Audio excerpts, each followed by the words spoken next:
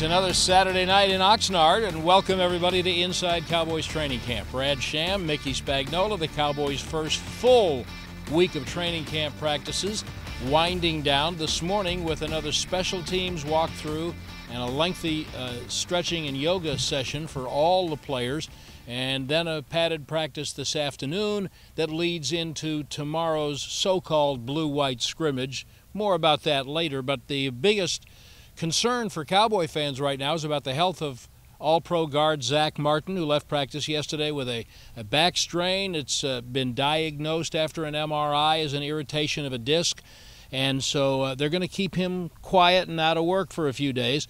And with some of the other people that they have uh, a little bit injured, the ranks are getting a little bit thin at guard in practice. For Coach Jason Garrett, that presents opportunities. Sometimes you can unearth some players in those situations. You're working a guy at this particular spot, and hey, let's let's put him in there at guard, and and sometimes that becomes a more natural home for him. So uh, we'll have to do that with the different units, juggle a few guys.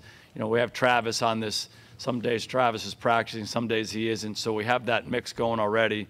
Zack being out, Wichmann being out, it'll challenge us, but Coach Colombo will do a great job getting the right, right, right group up there. A lot of times we uh, tend only to think about the playing uh, talent that's available for games, even for preseason games. But in training camp, they have to get through practice, and, and, so that may that may make for some interesting things to happen over the next few days. They'll probably have to do a little bit of shuffling. You don't want to start bringing guys in because then if you bring somebody in, you got to cut somebody. So there might be a tackle they can move inside. There might be a center they can move uh, to guard. Redmond comes to mind. He's been playing center, but he's also uh, can play a little guard. So they'll have to shuffle things up.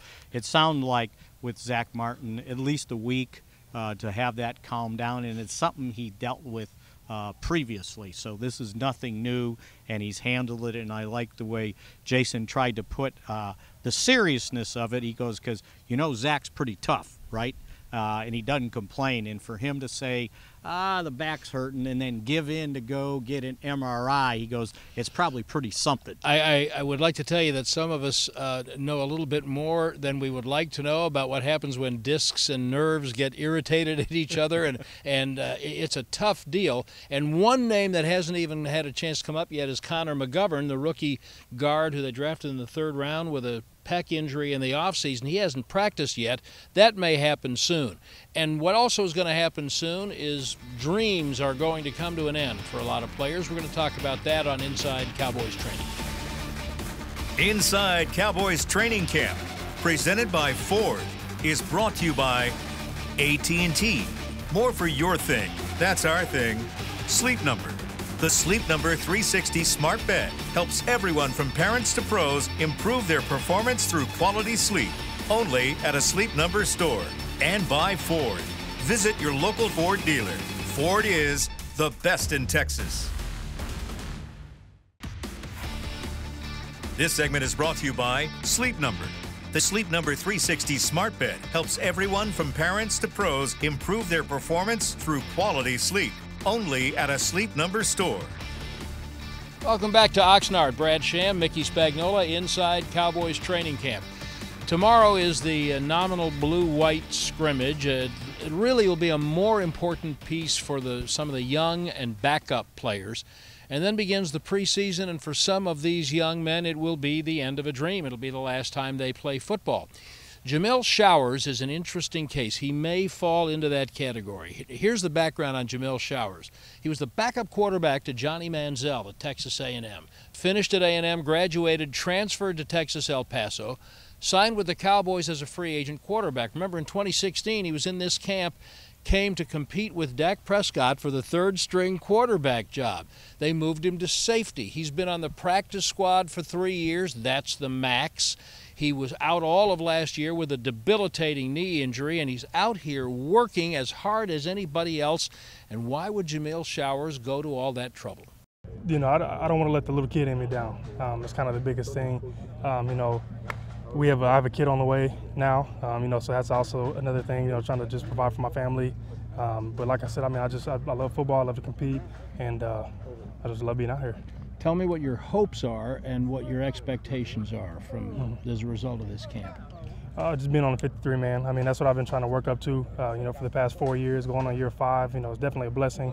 Um, but now I just want to make that jump. You know, onto the roster. Now, when you talk to Jameill Showers a little bit longer, you hear a very intelligent young man talk about uh, perhaps examining a coaching career. I don't think he's got stars in his eyes about the chance to make the 53 man roster. I don't even know if he'll play very much in the preseason. But I know that the commitment and the dedication that he shows is is kind of typical of a lot of these young men who just can't give it up. Yeah, and if you think about a guy that spent all that time on the practice squad, you got to be pretty tough minded. You got to be pretty driven, which is kind of the word of training camp mm-hmm. this year, to just go out there and practice and really never get to play. So, you know, he'll get an opportunity in that blue white scrimmage. Uh, special teams will be very important to him. There's other guys that they're going to be looking at during that scrimmage for special teams, uh, and that's where a guy like him. Uh, definitely has to show up. And you mentioned 2016 when they changed him from quarterback uh, to, to, safety. safety there was a lot of people that were watching practice early that were going, well, Jameill Showers is better than Dak Prescott. Uh, and that kind of faded away real quick. And Mickey mentioned the blue white scrimmage. We're going to tell you what to expect from that tomorrow when we come back to Inside Cowboys Training Camp. This segment was brought to you by Sleep Number. The Sleep Number 360 Smart Bed helps everyone from parents to pros improve their performance through quality sleep. Only at a Sleep Number store. Welcome back to Oxnard. It's inside Cowboys training camp. Brad Sham, Mickey Spagnola. Okay, tomorrow it says on the schedule, bigger than life, blue white scrimmage. Now, we, we were both around when that was a real scrimmage, and the whole team suited up, and first team offense played first team defense, and right down through the depth chart, and they hit and they tackled and everything else.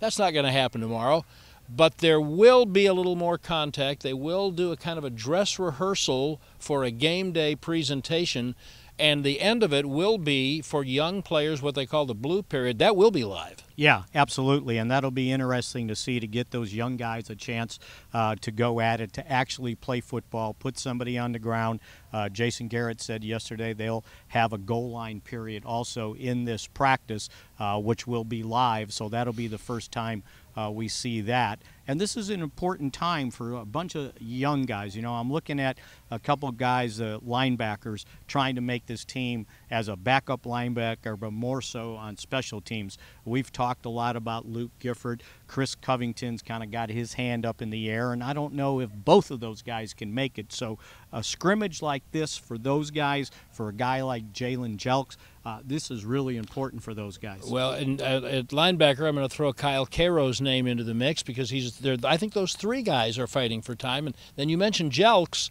I think one of the most intriguing things is the depth in the defensive line. Remember, we're not seeing, nor will we while we're out here in training camp, Tyrone Crawford or Demarcus Lawrence. And we won't see much of Robert Quinn, I don't think, in, in real games.